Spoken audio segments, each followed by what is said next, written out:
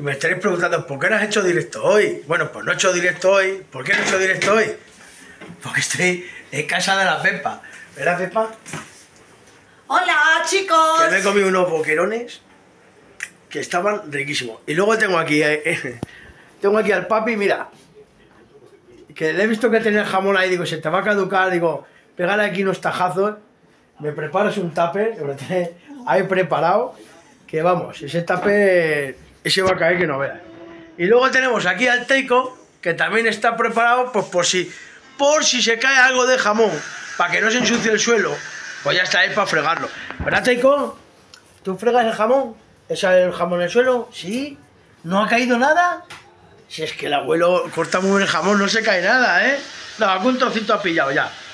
Así que nada, bueno, hoy en Madrid haciendo gestiones, en un ratito, bueno, cuando veáis el vídeo este, ya estaré yo allí en, en el rancho, así que nada. Me llevo las sobras, los boquerones que han sobrado para, para las gallinas, un tupper y algunas cosillas más. Y no sé si robarle alguna planta por aquí a la Pepa. Ah, me tiene que sembrado, me tiene sembrado aquí unos huesos, me lo voy a enseñar. Vamos a sembrar aquí a la ventana, a ver si no se me caen. Mira, hay una maceta con caquis. Me tiene sembrado unos caquis. Vamos a ver si nacen. Yo no había visto esos, los caquis esos con hueso. De hecho, no los había comido nunca. Hoy es la primera vez. Pero bueno, me tiene unos, unos huesos con caquis. A ver si nacen. Y nada, que nos vemos esta, esta noche. Oh, ¿Cómo se va a poner? Eh. Ah, No digo más, ¿sabes? No digo más.